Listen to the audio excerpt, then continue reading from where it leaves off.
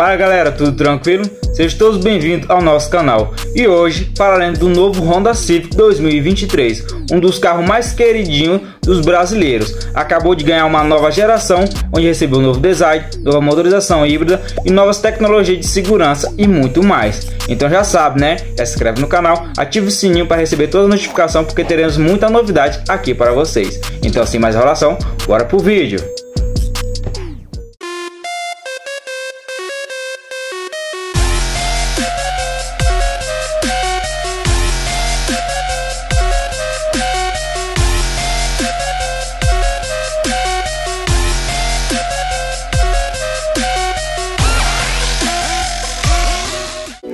Essa nova geração do Honda Civic virá importada da Tailândia, ou seja, não teremos um Civic nacional. Essa nova geração está com o design alinhado com o novo DNA da marca, o que está sendo aplicado em todos os seus modelos, o mesmo aplicado no Honda City. O Civic continua com a frente bem bonita, bem oponente, mas perdeu o ar esportivo da geração 10, mas continua bem interessante, com farol Full LED, um novo para-choque, uma grade bem mais discreta, ficando com um visual mais simples e mais conservador. Agora, na parte traseira, foi a mudança que eu menos gostei, porque ele perdeu sua identidade, o ar esportivo. Perdeu as lanternas estilo boomerang, o que era um charme total com caimento estilo coupé, o que remetia ainda mais à esportividade. E agora, essas novas lanternas tá parecendo muito um Jetta. Quando você passar na rua, o povo vai falar: Pô, esse seu Jetta aí é diferente, hein? É o novo modelo? Aí não dá, né, cara? Olha isso. Tá, tem praticamente diferença nenhuma. Aí não dá, né, dona Honda? Não dá mais para você fazer umas alterações bem loucas. Você ficar tipo assim, ó.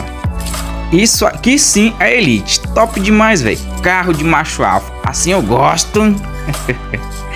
claro que o Civic continua bem bonito, bem chamativo, mas perdeu sua essência com essas novas lanternas. É minha opinião. É óbvio que vai ter gente que prefere as novas lanternas, porque gosto é que nem caneco, cada um tem o seu, né?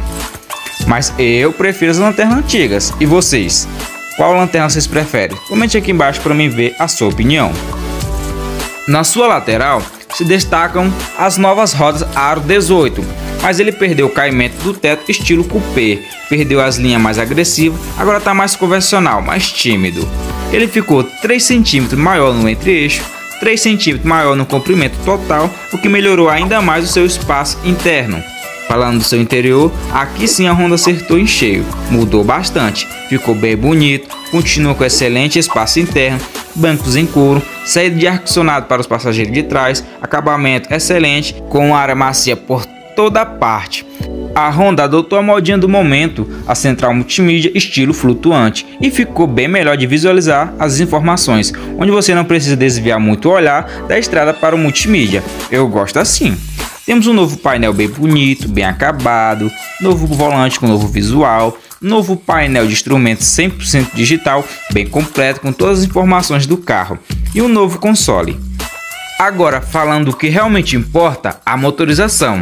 Ele recebeu uma nova propulsão híbrida para brigar diretamente com o Toyota Corolla híbrido. Mas essa motorização é bem mais interessante que do Corolla, porque no Civic ele utiliza um motor 2.0 aspirado aliado a dois motores elétricos, que combinados rende cerca de 184 cavalos e 32,1 kg de torque, contra 122 cavalos do Corolla e 16,6 kg de torque. Uma diferença muito grande de potência. Mas vamos ver quanto ele vai custar, né? Para ver se essa brincadeira vale a pena ou não. Por enquanto, só temos confirmada a versão topo de linha híbrida do Civic para o Brasil, a mais completa, que vai estrear o sistema Honda Sense aqui no Brasil. O Honda Sense é o pacote de segurança da Honda, que oferece câmera frontal, controle de cruzeiro adaptativo, sistema de correção de faixa, frenagem automática de emergência e vários outros. Não sabemos se a Honda vai oferecer o Civic com motor 1.5 turbo, que foi vendido aqui no nosso mercado e está sendo vendido lá fora nessa nova geração também. E como o novo Civic virá importado, não espere por preço abaixo dos 200 mil reais, onde na versão topo de linha híbrida pode passar dos 200 mil reais facilmente. Infelizmente, essa é a nossa triste realidade. E aí, o que você achou do novo Honda Civic?